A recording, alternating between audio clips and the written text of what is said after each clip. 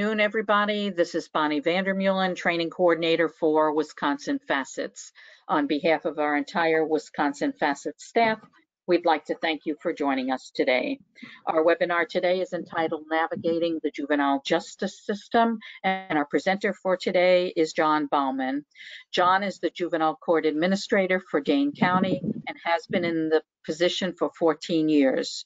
John has 37 years of experience in the local juvenile justice system, including 21 years in nonprofit agencies. He oversees the county department, which includes a custody intake unit, juvenile detention, shelter home, home detention program, and works as a liaison with the juvenile division judges. John is active on many committees and was previously on his school board and was also a foster parent. It gives me great pleasure today to introduce to you John Bauman. John? Thank you, Bonnie. I appreciate uh, appreciate the introduction and the opportunity to have a conversation with folks. Um, I do encourage uh, anyone to ask questions in the chat and Bonnie will, will relay those to me. Um, and please do so at, at, at, any point. What I'm hoping to do today is just to talk a little bit about um, at least our uh, process in Dane County for um, making decisions about youth who uh, get in trouble with the law. So I'm going to talk a little bit about my department and um, our decision making and uh, what parents can do to uh, to help in those situations when their youth gets gets into a little bit of trouble. So I won't lead this um, directly, but um, you could see on the screen that um, you know there there are approximately two million children and youth who have significant depression and other kind of mental health issues, um, with 70% of them not receiving uh, much in the form of treatment. Um, and we certainly see that in, in, in, in my department. Um, and the same for youth who are receiving special ed services. There's a very small percentage of, of students who um, have needs that aren't being aren't being met, and oftentimes that manifests itself in youth getting in trouble, and um, unfortunately, that involves the police at times. Um, and you know, 70% approximately of, of, children and youth that are in the youth justice system are, are youth that have a diagnosable mental illness, oftentimes um, not diagnosed though. And um, we all try to figure out how to best meet that youth's needs, even though there's not a formal diagnosis in place. Um, and trauma obviously is huge, and we'll talk a little bit about that. So my department has four programs in it, and um, I can speak to Dane County's processes, um, which are uh, similar in, in a number of ways to all of the counties in the state, but also is uh, is different um, across different counties as well as um, certainly across states. So um, I, I, primarily will speak to our intake process, and that is really where the decisions are made about what to do when a youth is is uh, referred to us for getting in trouble with with law. Um, I'll talk a little bit about some of the other programs as well, though. So the four programs in the department are the Juvenile Reception Center, JRC for short, um, juvenile detention, a non-secure shelter home, and then a home detention program.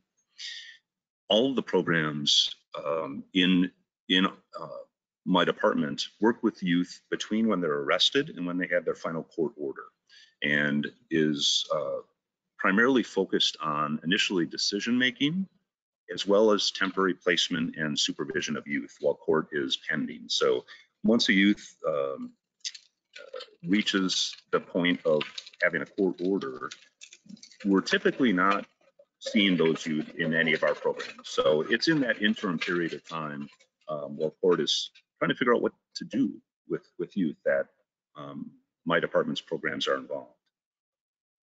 So the Juvenile Reception Center um, serves a function of providing custody intake services for youth referred by law enforcement on a state charge. So each county per statute in Wisconsin has a uh, responsibility and authority to make custody decisions for youth if law enforcement feels that there is a need to refer them for such a decision.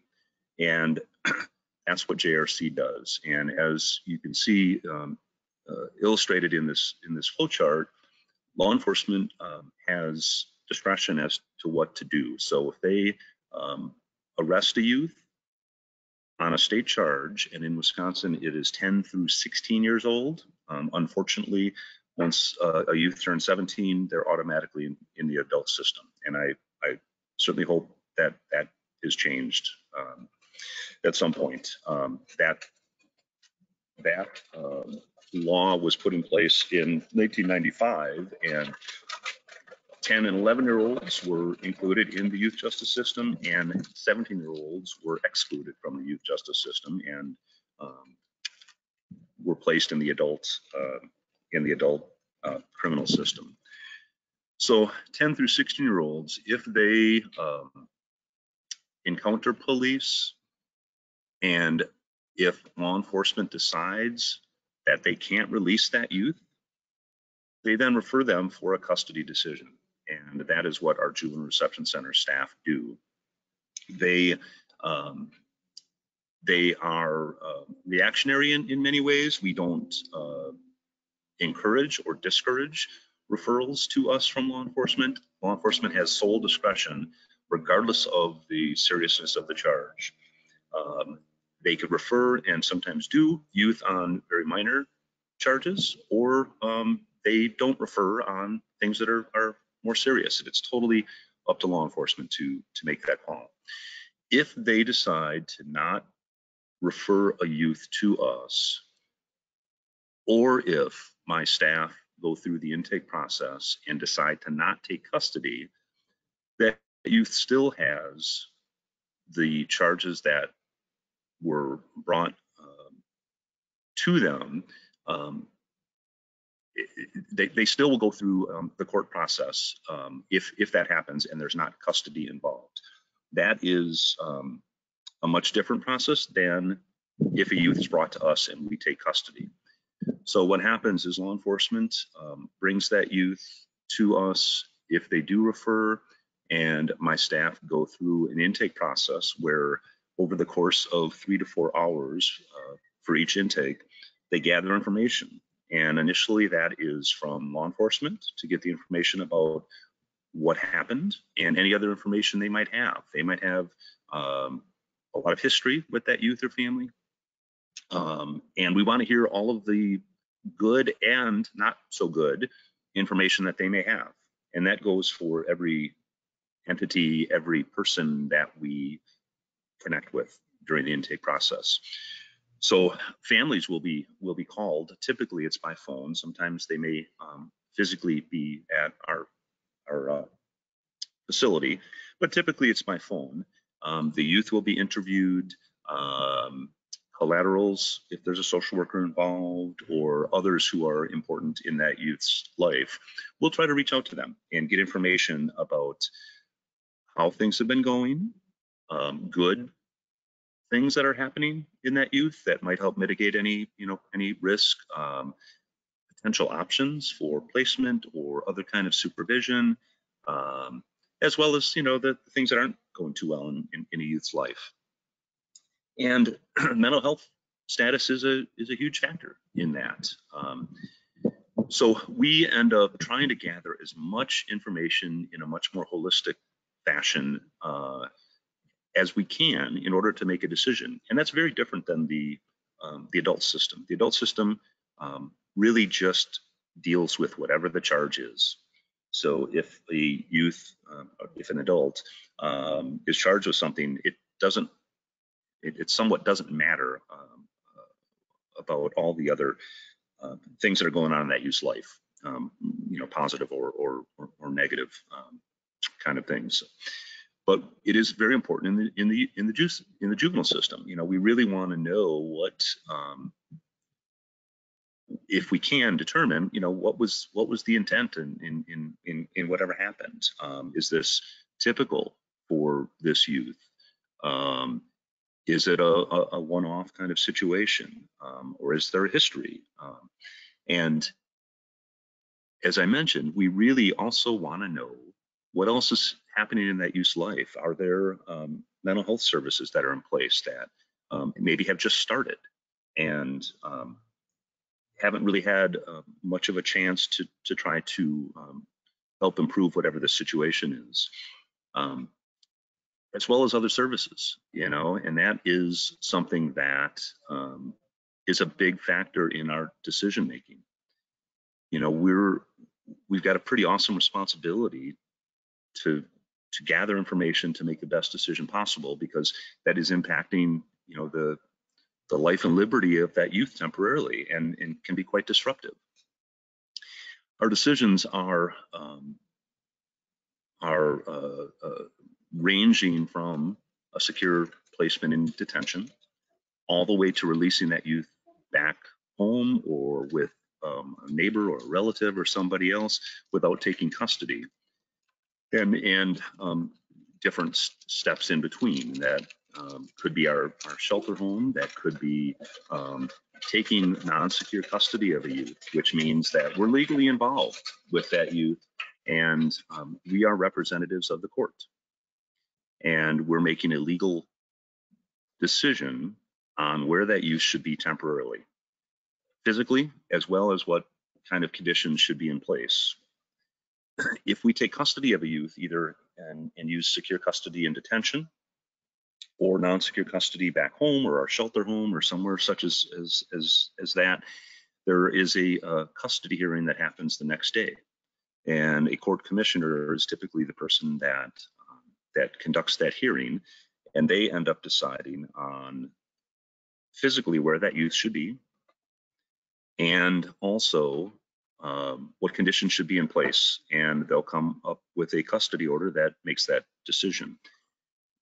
and that could be there could be no contact orders, there could be certain prohibitions of, uh, of going different places that could be including our home detention program as a monitoring program for that youth. Um, and it's uh, it's at that stage as well as the intake stage. And and um, as I said, each county has um, the responsibility to to um, go through a similar intake decision making process. And it's at that point that it's really important for families, especially, to um, talk to the intake counselor, talk to the court commissioner, talk to um, any, anyone you can about what would be most helpful and what is in place, what kind of um, history uh, has been uh, has been has been occurring with similar behaviors and and, and, and such. So, John, I do have a question for you. Please, I'm sorry yeah, to please do. interrupt. Yeah, yeah. The Mm. question that just came through that I think is relevant for what you're talking about is, could a release be made to a mental health facility if there is a mental health crisis? Most definitely, most definitely, and and that is for our intakes, you know, a, a, a huge consideration. You know, we we um, often will work with law enforcement, especially if there's uh, any potential need for an emergency detention. So if there's an ED need, we'll work with them and loop in Journey Mental Health in Dane County, which is the mental health provider that gatekeeps ED uh, placements. So, so that is, you know, and, and even um, for voluntary uh, hospitalizations, that's something that is really valuable information for us. Um, and, you know, we really work hard to not take custody of a youth and involve them in the youth justice system. It's a slippery slope, especially with youth who, who you know, have some some um, mental health issues. We don't want to criminalize behavior, and if there are resources such as um, you know any any kind of mental health treatment facility or even just services, um, you know, we we really really try to um, try to include that as an alternative to taking custody. That doesn't mean that the charges won't be dealt with at some point down the road. Um, and it also um, it, it it it also depends on what the charges are. And unfortunately, if a youth commits something that is uh, so hurtful and, and, and, and, and serious, um, regardless of mental health status, um, you know, we need to do what we need to do to make a decision to protect the community. And, you know, that is really, um, that is, uh, uh, you know, a, a, a, a big factor in, in our decision making, although um, most of the time not not the only factor that you know that uh, sways a decision one way or, or, or another. You know, we need to determine is there a need for immediate court intervention? Does the court, and we're representatives of the court, does the court need, to be involved with this youth and, and family, but it's it's primarily the youth sooner than later. And if it's sooner, that really leads to a custody decision that will involve the court and will involve custody and, and secure or non-secure. If it's determined that it's best to slow this process down, then either, you know, if law enforcement wouldn't bring the youth to us, or if we would have a referral of that youth and not take custody, it's a much slower process. So what happens in those uh, cases, and that's the majority of cases in, in, in all counties, um, they're not involving a custody decision. And what happens is a police referral goes to the DA's office as well as human services in whatever county um, the youth is is living in. And human services per, per statute has 40 days to do an intake assessment. And that's a much more comprehensive assessment that they do.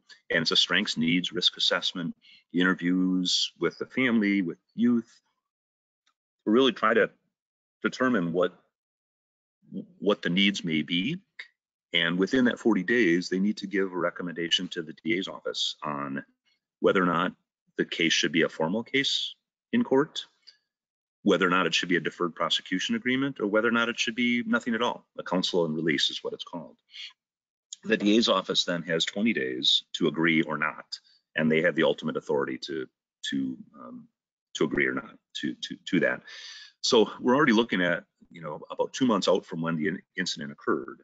So the immediate court intervention is the um, it, it is the issue that we always when my staff are making intake decisions we need to keep in mind and it it, it might be purely and solely due to the seriousness of the charge that the community needs to be protected and um, that's the uh, reason for immediate court intervention. But on the opposite side, you know, especially for youth that have some level of, of mental health um, challenges, it often makes sense to slow the process down and to not jump in to that immediate court intervention um, because we don't, as I said, we don't want to have uh, that youth get deeper and deeper in the system um, if it's, you know, if it's not um, really a matter of community protection. Unfortunately, there are times that um, that we see youth referred because there just is not there there haven't been services in place, and that is um, it's that's that's hard. That's that's hard for us, and and and I understand the desire by law enforcement or sometimes parents to um, to try to get something going for services and have a youth be arrested and referred to us for that. But criminalizing the behavior of, of, of, of youth, um, especially with some level of mental health um, challenge is, uh, it's, that's, that's tough. That's a, that's, that's something that we really, really need to, need to consider when we're, when we're doing an intake. Um, any other questions, Bonnie, that you can you can see right now? I think a it's long a answer to that. that. Yeah, I think it's a follow-up to that one and i- i- it's one that I'm not sure that anybody can answer. And that's, you know, how do we convince the general public that we have to attend to the, to these juveniles' needs first as best as we can because they have mental health needs. Yeah, yeah, yeah. Well, it's hard for me to speak to other counties because my whole experience has been in Dane County, and Dane County is um, is generally very cognizant of of the needs of of youth that um, especially present, you know, uh, uh, with, with any level of, of mental health challenge. Um, and that's, you know, all the way from most law enforcement through, you know, through the, the our local judges. Um, and and it's um, important to let anyone that a parent would have contact with if a youth does get in trouble let them let them know you know that this isn't just behavior. There's a lot of drivers behind it and especially um, you know having a conversation about what's been attempted and what services are in place or what services aren't in place but might be needed. Um, so it's that's you know that's that's important. And we we at intake certainly all the way through um, different parts of the court process you know we rely on um, on, on parents and information they have. And that's not always something that initially at least is um, is it, it is out there. You know if, if a youth gets in trouble depending on what it is um, what, what kind of behavior you know sometimes in and of itself that behavior needs to be addressed but as more evaluations and assessments are done informally or formally you know the the the, the more of the more about that youth's trauma history their you know uh, mental health struggles whatever it may be um, that just better informs the whole system so that that's pretty pretty important Well, thank you. That's all we have right now. Okay, great, great, great. Um, so, so this is uh, the same as every county in the state. We, you know, every county goes through this type of a process. Dane County and the larger counties in the state um, have standalone custody intake uh, programs, and that's that's what JRC does. Some of the smaller, most of the smaller counties um, typically have on-call staff, and it's typically human services, social work kind of staff that law enforcement contacts, and um, they then respond either in person or I think sometimes by phone and make the custody decision uh, that way. Dane, as I said, is a standalone uh, program, and youth are brought to us at the city county building.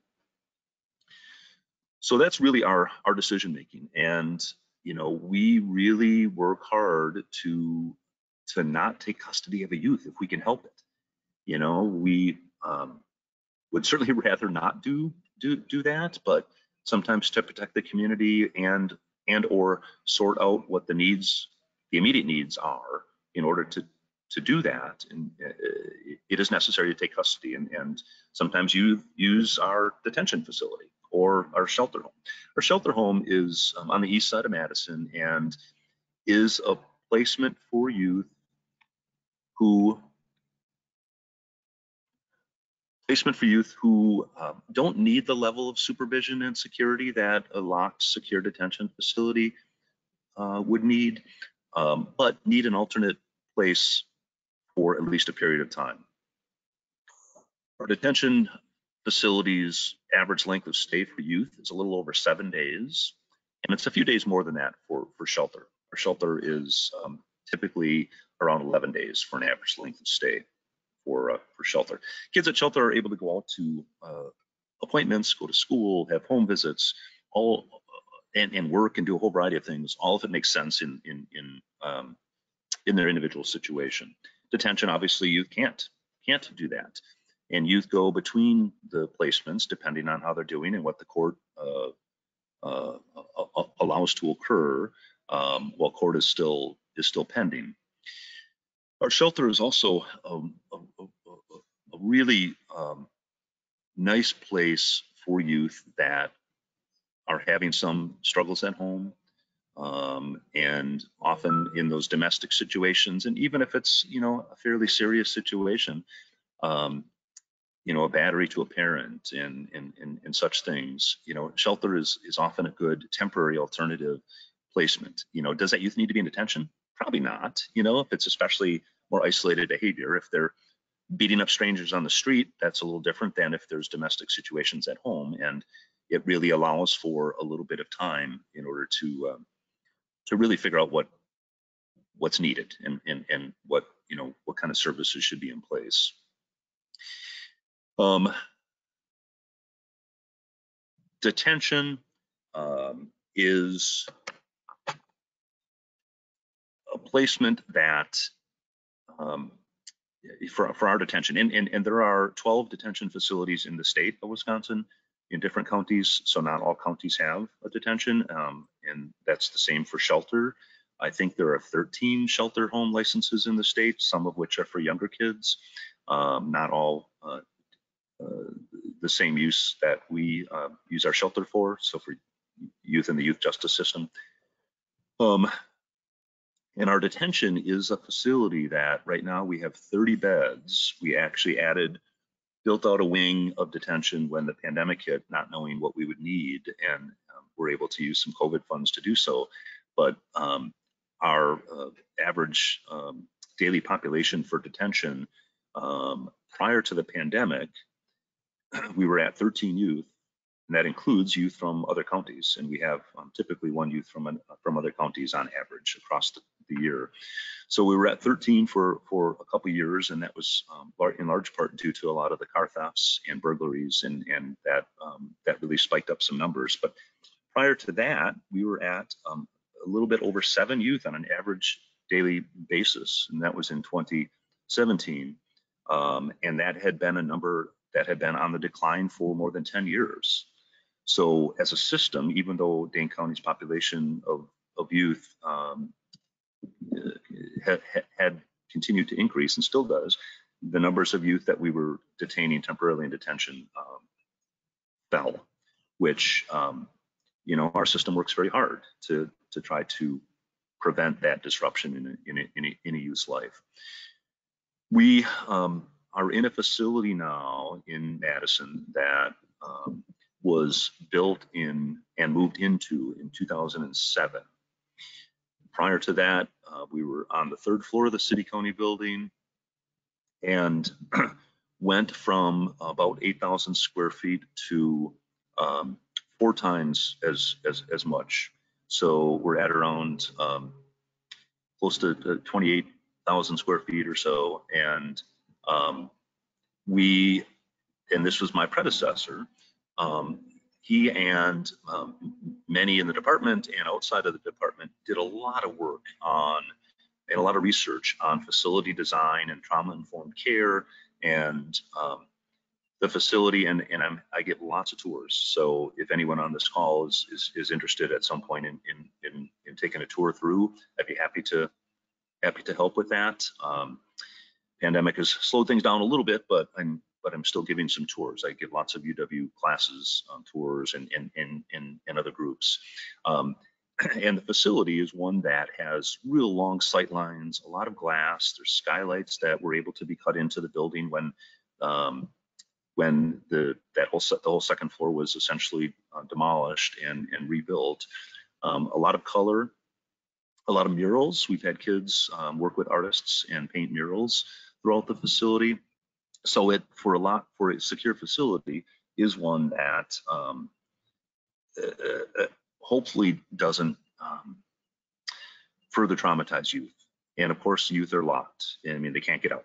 You, you know, um, but it's a full um, full day of programming um, during the school day. You know, youth have school all day. There's um, many, many different kind of enrichment groups and activities. We have dogs on call come in.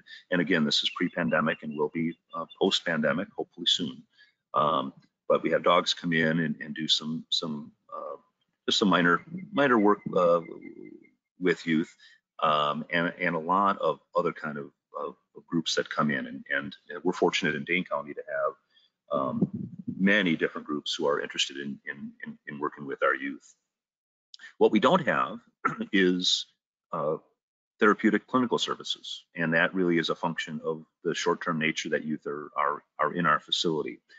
What we really try to do if a youth has a provider or providers is everything we can to include them during the short or potentially a little longer time that a youth is with us, um, either at uh, detention or, or, or a shelter home. And we're certainly welcoming of any kind of, of um, ongoing services.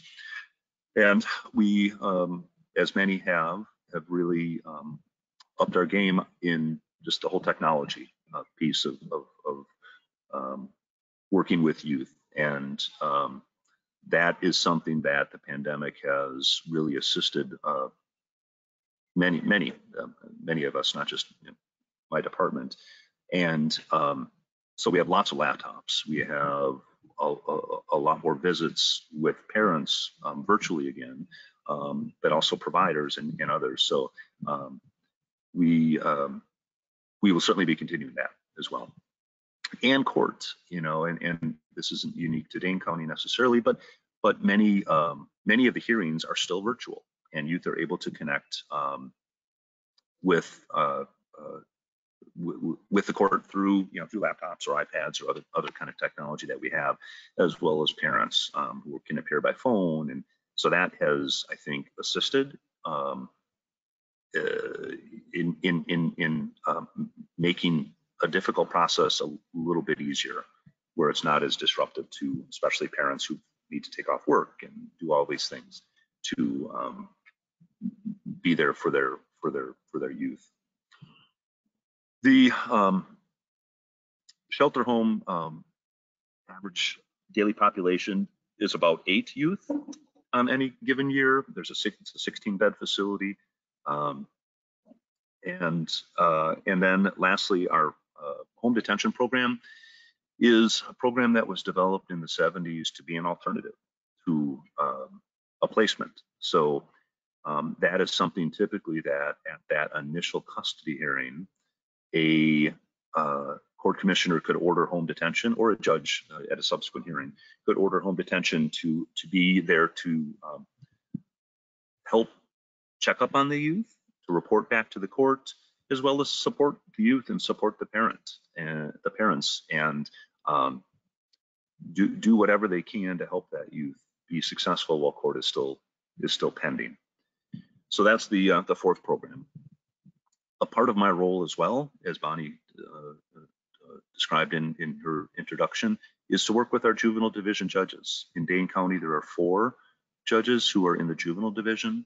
So I work with them on whatever kind of liaison work, whatever kind of of of, of, of system improvement work um, that that um, might in, might help improve um, a youth's uh, involvement and and um, uh, the, just the whole the whole court process and and, and service uh, service delivery. So those are the the four programs. Um, a little bit of terminology. I won't go over all of this, um, but the juvenile system is is uh, is is very different and really acknowledges um, the need to take a whole lot more into account than just what what the charge is. The range of services for youth, ultimately, when they have a court order, um, could be services at home therapeutic services while, while, while still remaining in, in a parent's home. it could be a foster home. It could be a group care situation, such as a group home or a residential treatment facility, none of which are in Dane County. There are no group homes or residential care facilities. So youth, unfortunately, need to go elsewhere to a county that has a facility. and then ultimately corrections is the um, most secure, obviously, uh, placement for youth who have just not been successful with other kind of interventions and placements up until um, up until that that time. Dane County um, is still sending youth to Lincoln Hills and, and Copper Lake, which is the girls uh, girls portion of of juvenile corrections. We had um, had some discussions and planning to open a, a local uh, correctional facility um, as a part of um, my department, and for a variety of reasons that didn't materialize. Um, so youth are are in corrections um, up at Lincoln Hills Copper Lake. We, as of the beginning of December, and I don't have the January numbers yet, but we had, I believe, six youth that were physically there, and then others who were under correctional order that were um, in the community being served through the Department of Corrections on community supervision. Um, and many of the youth that um, are under a corrections order, either physically uh, in, in corrections or in the community, are the youth that our community struggled with in the last few years with the car thefts, the burglaries, the um, pretty serious behavior that um, you know potentially and and and and, and was um, quite hurtful to, to others. And for our detention facility, that is really the the um, primary criteria that that we use. There's a there's a there's a couple of them, but the primary one is, you know, when we're when we're refer to youth, you know, it, it, is there a substantial risk of physical harm to another person if that youth is not held in a in a secure facility temporarily?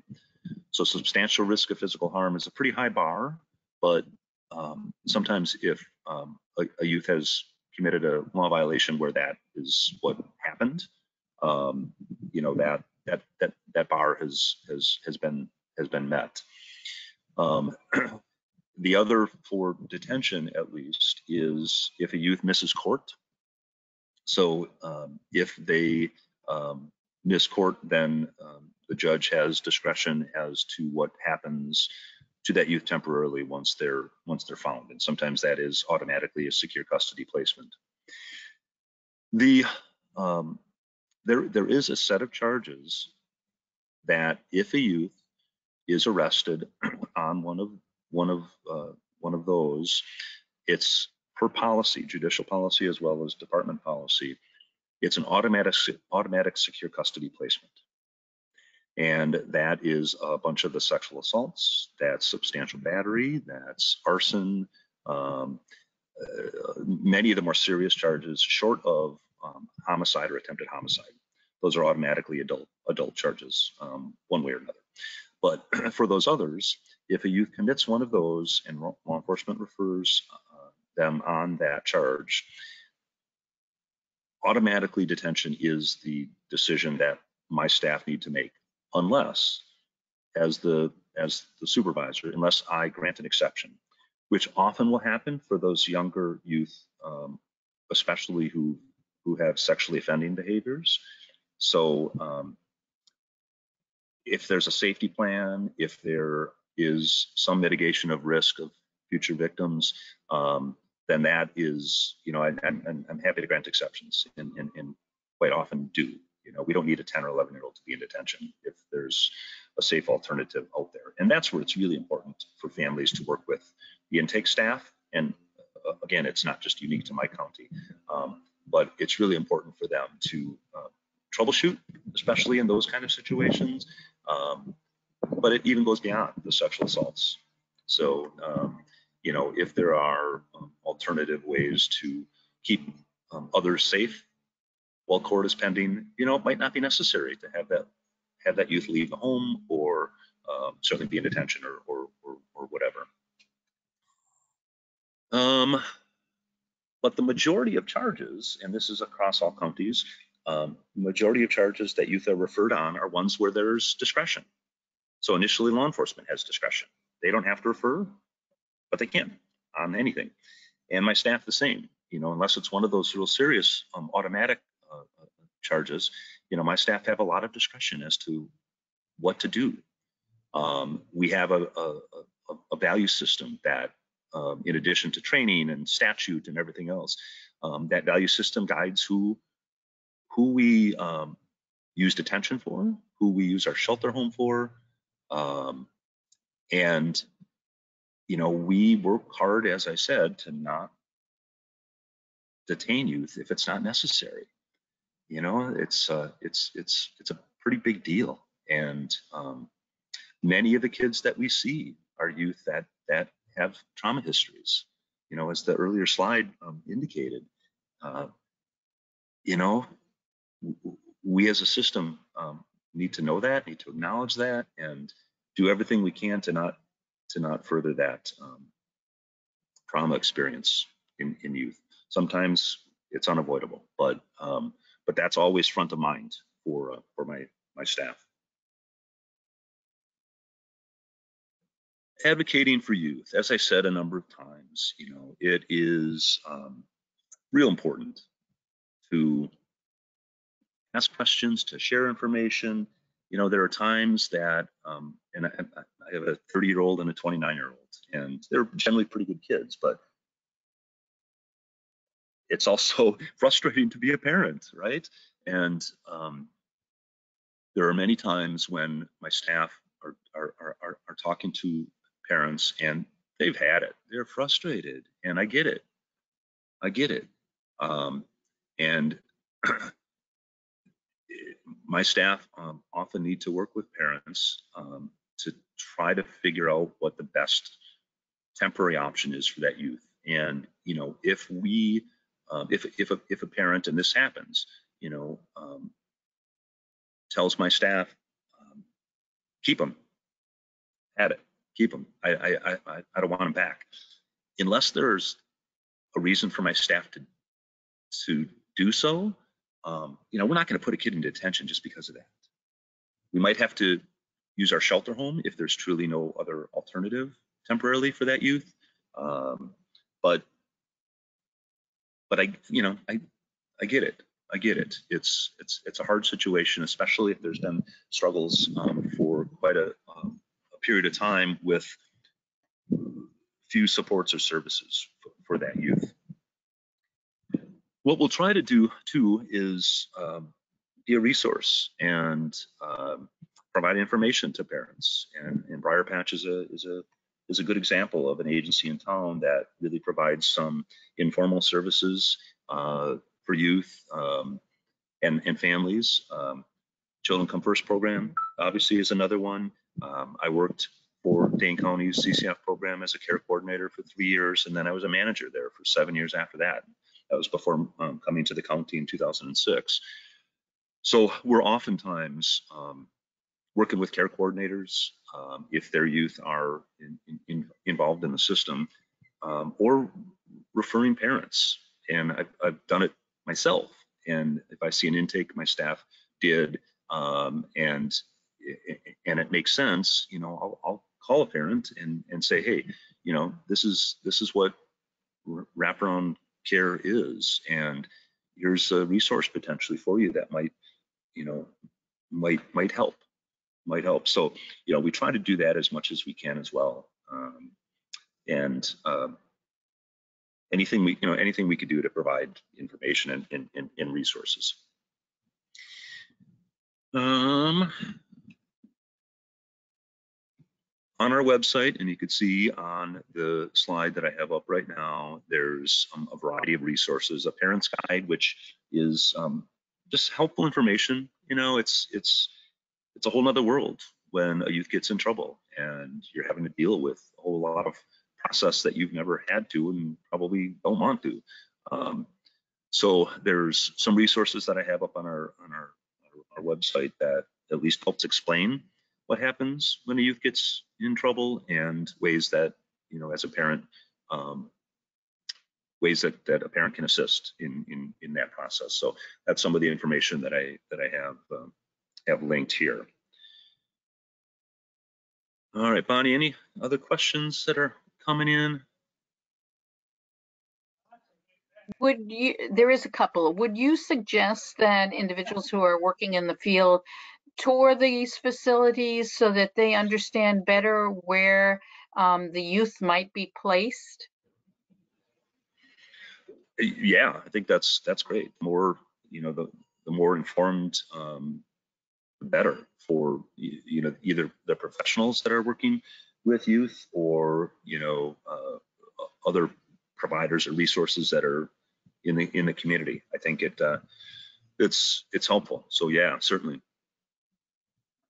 I'm actually giving a tour next week when I'm back, and and I can't see anyone and I can't hear anyone, so hopefully I won't get a whole lot of boos. But I'm literally sitting outside in Florida, and it's about high 70s now. Um, as I, I, drove my mom down to, to winter down here this last weekend, so I'm outside and it's it's lovely. Um, but I will be returning to the cold of, of Dane County next week, and I'm going to be giving a tour to a, a, a community group from the east side of Madison that I spoke to some of the representatives there.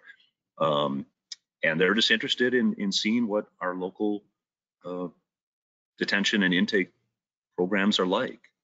So as I said, I give lots of tours to, to classes and, and especially social work classes and others, but um, but if the timing works out um, for me to do so with with others, I I, I could do that, and, and we certainly want to minimize and, and and be respectful of confidentiality, and so there's a certain time each day that that that's um, not a big issue in in, in between shift changes of, of, of staff, youth are, are in their rooms for a short amount of time, so we're able to do that and still maintain that that respect and confidentiality. So yeah, certainly. Um, Okay, we have another question for you. Um, what would be your suggestion as the professional working in the field of things that schools can do to help not move forward the idea of school to prison pipeline? Yeah, that's a great question. Oh boy.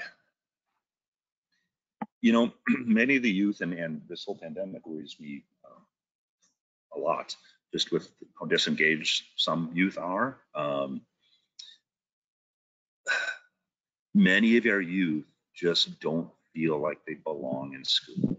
They just they're not engaged. They don't they don't find any kind of uh, reason to regularly attend, other than maybe some social reasons. But um, so I think the more that can be done to engage a youth, and that may, might be, um, you know, just alternative methods of connecting with that youth and and and and it, getting them excited about being in school and staying in school and and knowing that um, someone cares for them.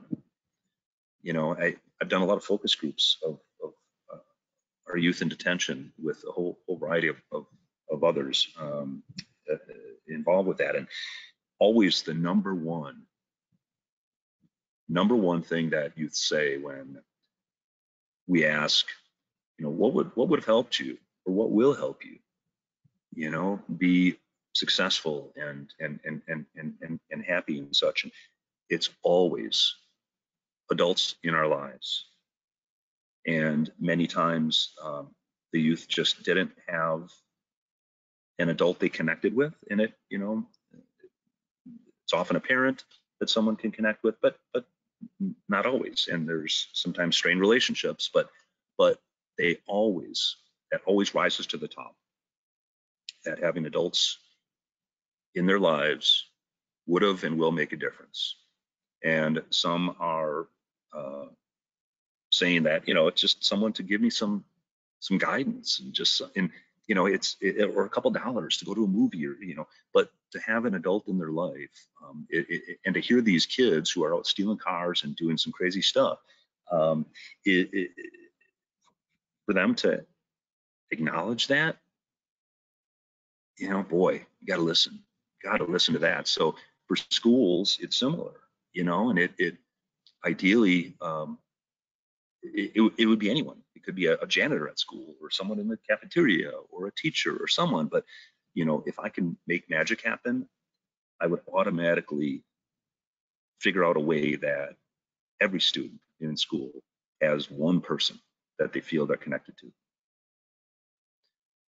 So, so that uh, uh, uh, two other items that um, are are always at sort of the, the top of the list as well for youth when they talk about what would help is activities they're interested in you know and these are 14 15 16 year olds and they're saying that a lot of the um,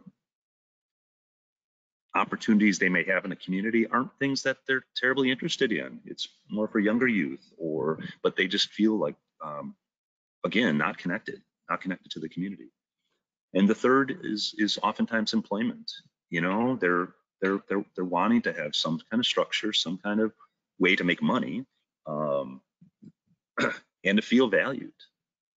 So you know, it's really it's really it, in in my opinion boils down to that that that that connection, that connection to the community, that connection to school, that connection to an adult. Um, that that would be my my long answer. So there's another one, Bonnie? Yes, so we have one other one, and that's, um, in your professional opinion, what other types of services and or facilities would you think if you had, you know, your, your choice, you'd like to see in Dane County? Mm-hmm. Yeah. You know, I,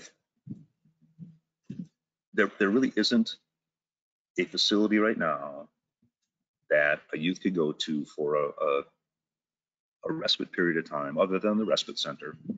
But if there's a need for a, a short break as an alternative to maybe a formal arrest and, and, and referral, um, you know, uh, where there can be some kind of um, services, and I know Dane County is is working hard on a triage center, which might serve somewhat of the need for this, but there really could be benefits to a program that has, you know, trained professionals as well as um,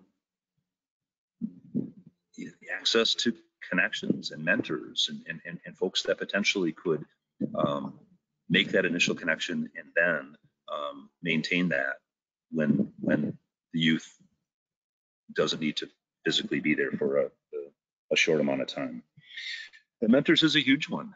You know, we we um, did a mentor pilot with some resources that United Way had, as well as some county money, and the pandemic um, created many many problems with getting that off the ground because it was right that that that that happened but that really was a follow-up to what the youth were just clamoring for, which is adults and someone who's going to be there and be there even when they're pushed away. You know, so the more that um, we can help link those youth with those adults, um, also the better uh, and more successful uh, the community will be just in general. And I do have one last question, and that would be, what do you think are some of those most important qualities that some of your workers that work in all of the different areas in the juvenile justice program should display and should Mhm. have? It's an excellent question. So I, I tell folks um, when I give tours that, especially my staff in detention, you know, they need to need to do what they um, need to do to keep everyone safe and and and and, and it's a secure environment. But if they, my staff want to be a jailer, they should go to the sheriff's department and work in the jail. My staff need to be social workers. They need to have, even though they're not certified, I'm, I think I'm the only certified social worker in in in, in my department. Um, but they need to have that skill set. They need to be able to connect with kids. They need to like kids. If you don't like kids, I don't want you working for me. You know, it's uh, it's pretty crucial because kids know and they can see if you're if you're faking it. Um, and that's across all the different programs. You know, you you you you really need to have an ability to connect with youth, and folks have that at you know at various degrees, of course. But but in general, you know, the ability to connect and be genuine, regardless of if it's a, secure environment, if it's a community-based program or whatever. Um, you really need to have that skill set. Okay, and John, that's all we have as far as questions at this time. So we're getting to the end of our time. Is there some closing statements that you might like to make? well, I just I I appreciate the interest. I appreciate the desire to Im- improve the system and be involved and um, you know keep just keep keep advocating uh, because they're kids you know not I, I don't think there's a single kid in my 37 years that i i've worked with uh, worked with youth that you know start, started out as a baby wanting to get in trouble and be in the system or be in detention or wherever you know they're kids and um, kids make mistakes and hopefully there's enough adults in their lives that can help them through that and get to the other side without continuing to make mistakes, especially that are hurtful to, to, to, to other people. Um, so, you know, uh, keep advocating and keep um, doing whatever can occur to help youth feel like they're they're they're they're cared for, that they're loved, that they're um, a part of the community, and um, anything to engage them and engage their their their interests to do so is is um, pretty crucial in my opinion. Well, thank you, John, so very much. We greatly appreciate it. I know at this time that I certainly learned a lot, and I'm sure that those on the call with us today did as well. So thank you for taking your time, especially from your retreat in Florida at this time, to, to share with us some of your information, and I, I thank you. Um, this will conclude our webinar. We'd like to thank everybody for joining us today. Please be reminded that Wisconsin Facets has over 100 scheduled trainings and webinars for 2022. And please check out our website calendar and register for any of the upcoming trainings that might be coming your way. Also, please watch for the short evaluation that will be coming to you after today's live presentation. So everybody have a great day, be safe, stay warm. And again, thank you very much, John, for your presentation today. Bye-bye, everybody. You're welcome. Bye bye